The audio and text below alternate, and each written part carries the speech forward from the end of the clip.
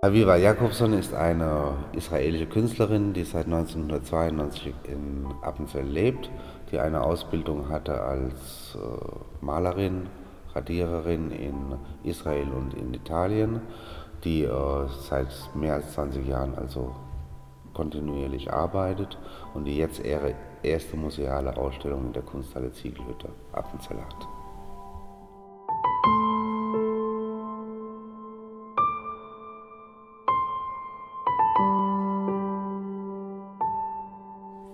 Mich interessieren Strukturen, Farben, Ereignisse, Erinnerungen und Sachen, die ich einfach erlebe und äh, etwas interessant drin finde.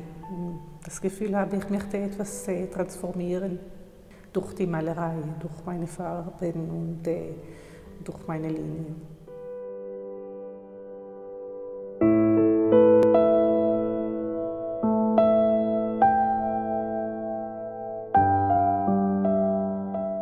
Wenn ich mit Farben arbeite, nehme ich die Pigmente und mische sie selber und so habe ich die Kontrolle über das äh, Resultat.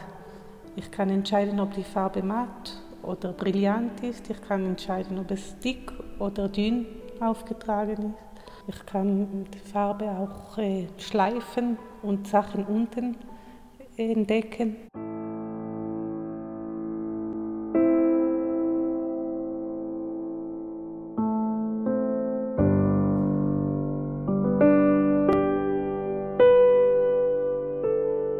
Wir haben die Ausstellung Umschwung genannt, weil äh, Habiba Jakobsen ja tatsächlich sich sozusagen mit ihrer unmittelbaren Umgebung beschäftigt. Zum anderen, weil wir denken, dass so circa vor fünf Jahren ein Umschwung in der künstlerischen Entwicklung von Habiba Jakobson stattgefunden hat.